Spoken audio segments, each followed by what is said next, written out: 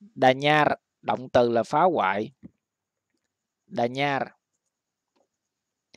en sector là lĩnh vực.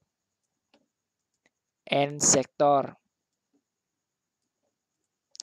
degradar, động từ là làm giảm, làm cho suy giảm. Degradar,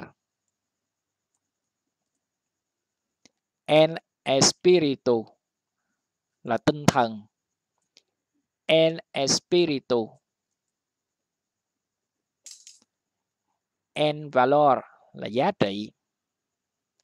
Tính từ moral, có nghĩa là thuộc về tinh thần. Thì mình sẽ có cụm từ là en valor moral, là giá trị tinh thần.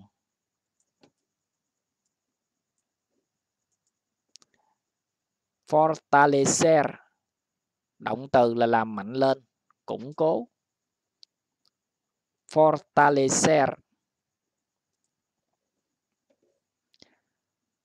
La institucionalidad thể chế tính thể chế. La institucionalidad.